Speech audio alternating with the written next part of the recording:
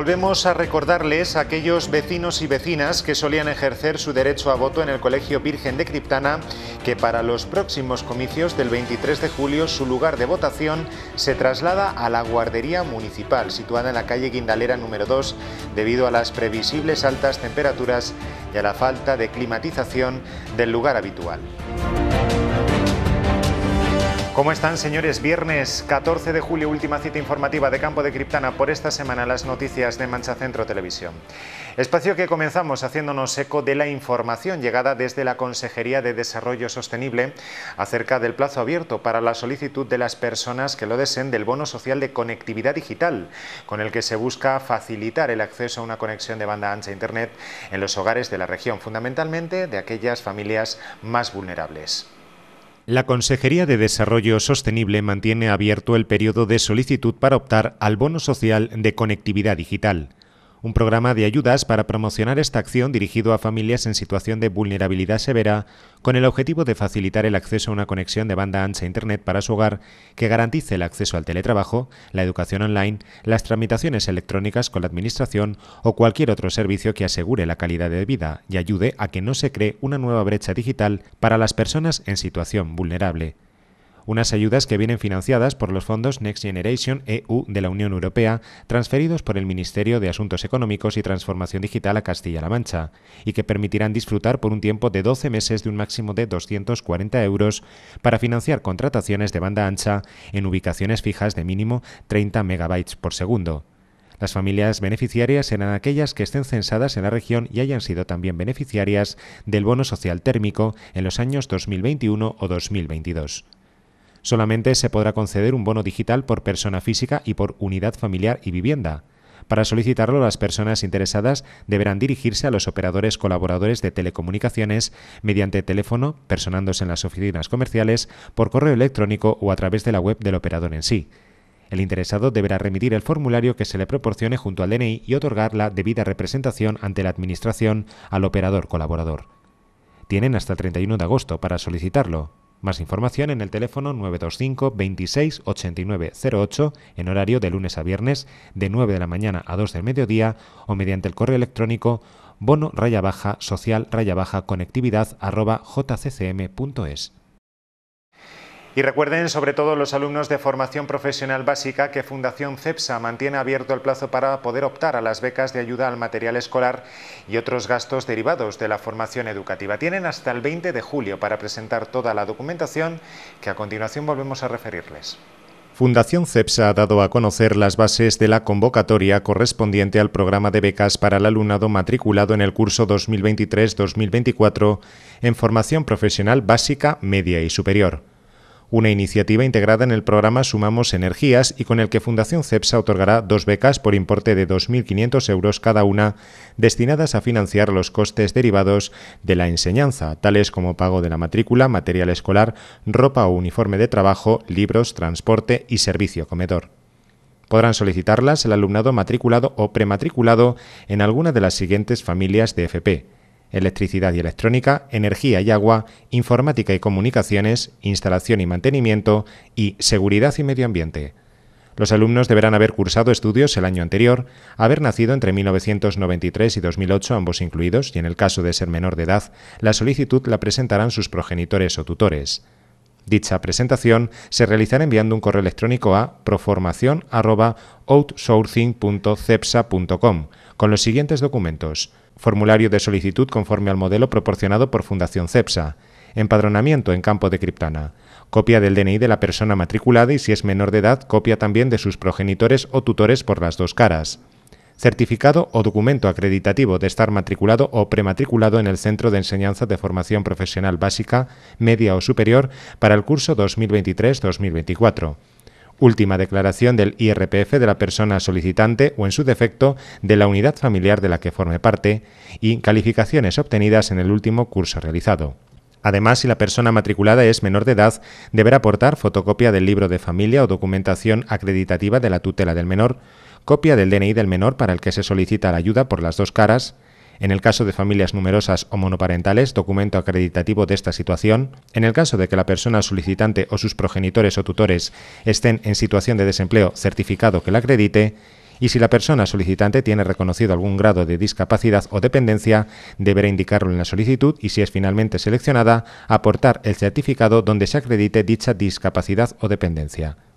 El plazo de presentación de las solicitudes y de la documentación requerida se extiende hasta las 6 de la tarde del día 20 de julio. Más información sobre el proceso y sobre las bases del programa en la página www.fundacioncepsa.com.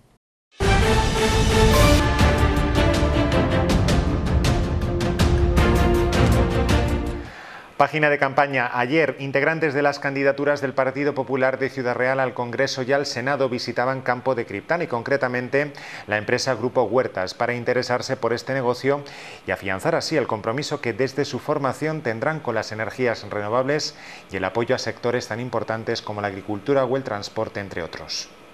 Representantes de las candidaturas provinciales del Partido Popular al Congreso y al Senado visitaban ayer las instalaciones de Grupo Huertas, una empresa familiar con más de 60 años de historia, dedicada a la agricultura, la energía y el transporte, entre otras cosas, y que ha sido galardonada con el Premio Nacional de Economía Circular. Una expedición que conoció de mano de los propietarios del negocio las distintas acciones que llevan a cabo reconociendo los políticos la necesidad de trabajar por el medio ambiente y las energías alternativas, así como por sectores tan importantes como los agricultores o transportistas. En este sentido, la candidata al Senado, Rosa Romero, comprometía la mejora de las condiciones para que las empresas trabajaran por seguir creando riqueza y encontraran las menores trabas burocráticas con las que facilitarle su actividad. Ayudar, crear condiciones que sean de apoyo y de respaldo a nuestros empresarios, en definitiva, a todos, con una legislación y con una reforma eh, en nuestra normativa que haga que podáis hacer vuestro trabajo de forma más fácil, que podamos eliminar esa burocracia que en muchos casos cuando tenéis que acudir a trámites administrativos es eh, un calvario para nuestras empresas y para la gente que acude a la administración y que se pierde en papeleos, en muchos casos innecesarios, gastar tiempo, gastar sobre todo eh, en lo que significa que vosotros podáis hacer vuestro trabajo unas facilidades y apoyos que extrapolaban al ámbito de la agricultura y al respaldo al sector del vino y el agua para todos. En este sentido, el responsable del PP regional en materia de agricultura, Santiago Lucas Torres, defendía que su formación presentaba un programa serio y riguroso, lleno de propuestas y planteamientos que beneficiaran a empresarios, agricultores y ganaderos, como por ejemplo la creación de un organismo nacional de regulación del agua acciones y no ideas con poco recorrido, según manifestaba Lucas Torres, que eran las desarrolladas por el Ejecutivo Socialista en los últimos años. En esta legislatura se gobierna Alberto Núñez Fijo una entidad, un organismo nacional de regulación de agua, que va a regular, regular las cuencas, que va a regular eh, las confederaciones hidrográficas, que va a dotar de fondos, porque lo primero que ha hecho es poner 40.000 millones de euros para los próximos seis años para dotar para hacer presas, para hacer canalizaciones y para que el agua sea un bien para generar riqueza y para generar empleo. Proyectos serios en el que se defienda la sequía en esta época que están matándonos con la sequía, que han puesto 276 millones de euros y piensan que con eso es suficiente y para que la gente lo sepa, le llega entre 30 y 50 euros por hectárea y agricultor y con eso no tienes ni para lo que vale la semilla la semilla del año vale el doble de lo que nos dan, el doble de lo que nos dan de subvención a los agricultores. Unos planteamientos que para la comitiva solo serían posibles con el cambio de rumbo en el gobierno nacional impulsado por su candidato, Núñez Feijó, para el cual pedían la confianza de la ciudadanía en los próximos comicios del 23 de julio. Ha llegado el momento, por fin, en este 23 de julio, de tener un gobierno que se preocupe en los problemas de nuestros pueblos, de nuestra gente, y eso es lo que quiere hacer Alberto Núñez Feijó. Tenemos la gran oportunidad de tener un gran presidente, estoy convencida que lo va a ser, y va a ser un presidente que va a estar a la altura real de lo que necesita España y de lo que necesitan nuestras empresas. Así que sin más yo agradezco a todos y sobre todo también pues a todos los vecinos y vecinas de Campo de Cristana que pido el voto para el Partido Popular. Es el momento, nos jugamos mucho, el 23 de julio podemos tener ese cambio que necesita España con el presidente Feijóo.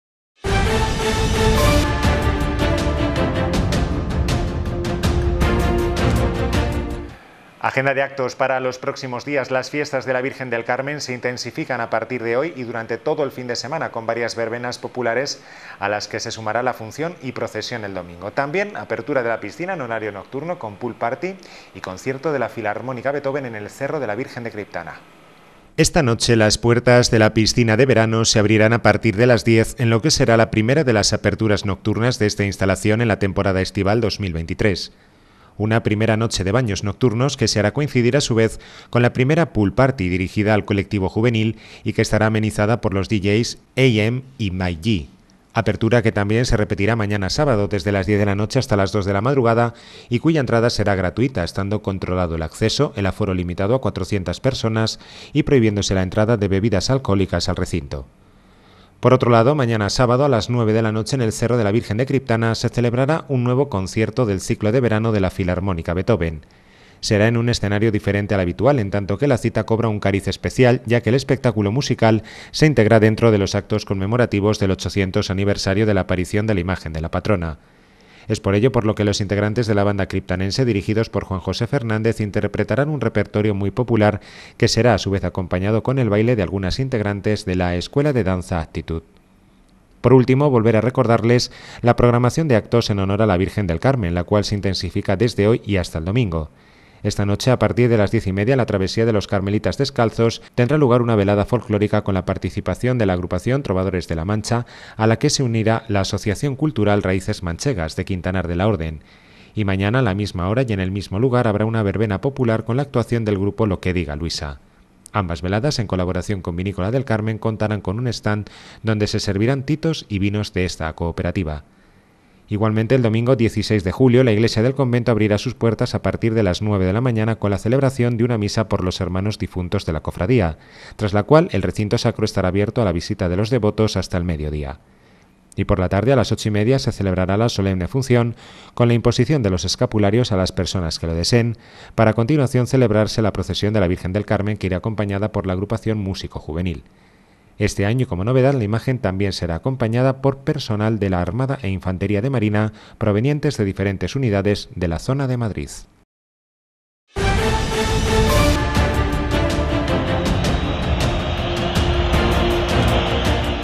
Cerca de 75 niños y niñas están participando este año en el campus de fútbol organizado desde la Unión Criptanense, una alternativa formativa y deportiva que ha vuelto a consolidarse como oferta referente en la amplia programación veraniega para los más pequeños y que se extenderá hasta la semana que viene, por lo que aún hay posibilidad de vivir los últimos días si están interesados. El fútbol como deporte rey sigue llamando la atención de numerosos chicos y chicas que este año han vuelto a llenar el campus ofertado por la Unión Criptanense, el cual continúa convirtiéndose en una alternativa deportiva y formativa de primer nivel. El campo de fútbol Agustín de la Fuente es el epicentro de esta actividad que de lunes a viernes permite que los niños y niñas se ejerciten en esta disciplina al tiempo que adquieren hábitos de convivencia y valores durante los ratos de ocio que también les oferta este campus. Estamos teniendo mucha participación con la división en cuatro campos que realizamos todos los días, donde se intenta inculcar distintos conceptos futbolísticos y sobre todo el campus que también tiene que servir como para enseñar esos valores educativos. ¿no? Aquí estamos teniendo seis días que tenemos comidas, entonces en esas comidas pues buscamos la socialización, buscamos el que se acostumbren a recoger sus mesas, sus platos, sus comidas, entonces yo creo que en ese sentido lo estamos consiguiendo y la verdad es que estamos bastante satisfechos, sobre todo el desarrollo y la aportación que, que por parte del club en este año se ha querido dar al campus. Entrenamientos y juegos de táctica y técnica que se unen a diferentes ponencias, excursiones y actividades de piscina, en lo que viene a ser una programación muy variada y de alta calidad, como por ejemplo la visita que realizaba Xavi Martínez, jugador de fútbol de la selección española de amputados, que acaba de participar en el Mundial de Turquía y con el que los participantes del campus conocieron todo lo relacionado con el deporte adaptado, pudiendo realizar prácticas del mismo un campus que no ha contado exclusivamente con alumnado de la escuela de fútbol, sino que también ha llamado la atención de niños y niñas de otras disciplinas, tanto del municipio como de otras localidades. Tenemos sobre 6, 8 chavales de fuera, eh, chicos, chicas de fuera, y luego hay gente también de aquí, de Cristana, que nos han apuntado por diversos motivos a la escuela de fútbol y que están haciéndolo. ¿no? Se ha superado el número de alumnos del año pasado, parece que estamos en unos 75 alumnos y bueno, yo creo que eso es eh, gratificante y la idea es que esto se pueda seguir aumentando y fomentando y sobre todo acrecentando, tanto a nivel de los niños participantes como de las actividades que se puedan inculcar y los que mejor conocen a los participantes son los monitores, que como manifestaba De la Torre son integrantes de las categorías inferiores del club, referentes para muchos de los niños y niñas que forman parte del campus y que ponen sus conocimientos al servicio de los más pequeños. Está Casti, que está eh, del primer equipo, eh, luego está tan Sergio, está Juanjo, está Cavani, está Javi, que lo tenemos que lo tenemos en Albacete, está Molina, que no me deje ninguno, que si no tenemos hasta una chica monitora, que es Verónica, que está en el equipo femenino. O sea, todos de una manera directa o indirecta están vinculados con el equipo, bien en el equipo juvenil, bien en las escuelas como monitores o bien en el primer equipo. Qué mejor que la propia gente que tú conoces de aquí. Así pues, una gran apuesta por la formación deportiva y lúdica en un campus que sigue reivindicándose como uno de los más participativos del verano criptanense. Aún están a tiempo de inscribirse para la última semana. La invitación queda hecha. Ha habido alumnos que se han inscrito a las tres semanas, ha habido alumnos que se han inscrito en la segunda y nos está ocurriendo que ya en esta segunda nos están pidiendo la posibilidad de poderse inscribir para la tercera. Entonces eso es gratificante para el club, gratificante para mí, para los monitores y en líneas generales para la escuela, porque esto es señal de que está buscando, que está gustando, ¿no? Entonces ahora mismo sigue abierto el plazo de inscripción para quien quiera inscribirse y poder participar en esta semana y media que nos queda. Y este fin de semana también son pocos los eventos deportivos para los nuestros, los cuales viajan fuera a seguir dejando el pabellón criptanense bien alto. Mucha suerte para todos en sus respectivas competiciones, de las cuales les damos cuenta a continuación en nuestra agenda deportiva. Una semana más, la agenda deportiva del fin de semana tiene poca actividad, coincidiendo con los días más calurosos del verano. Así, volviéndoles a recordar la apertura de la piscina en horario nocturno tanto hoy como mañana, desde las 10 de la noche hasta las 2 de la madrugada, e indicarles que mañana en ciclismo, Juan Manuel y Nayara viajarán hasta Talavera para disputar una nueva prueba del circuito escuelas. En natación, el Club Natación Criptana Gigantes participará en el trofeo aniversario del Club Natación Madridejos y en acuatlón, duatlón y triatlón, integrantes del triatlón Criptana Gigantes viajarán hasta la localidad soriana de Almazán para la disputa de los campeonatos nacionales de la modalidad cross de estas disciplinas. Finalmente, informarles que en Padel, durante todo el fin de semana, Luis Miguel Abad Manzaneque se desplazará a Alicante para la disputa del FIP Promise organizado por la Federación Internacional de Padel. Mucha suerte a todos y todas.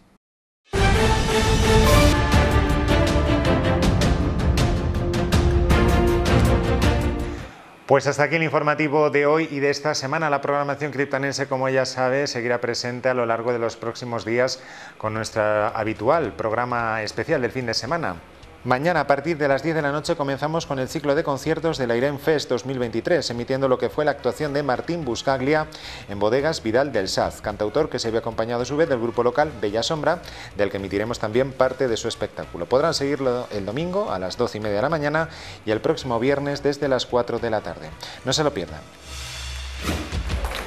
Nada más, el punto y final a la actualidad de hoy lo va a poner el folclore y concretamente imágenes de la actuación que Molinos de Viento ofrecía ayer en la Plaza del Calvario, en lo que fue la primera de las tres actuaciones de sus ensayos al fresco, los cuales se convirtieron en todo un éxito de público. Recuerden que las siguientes llegarán el 21 de julio y el 2 de agosto. Regresamos el lunes con más cosas. Disfruten del fin de semana.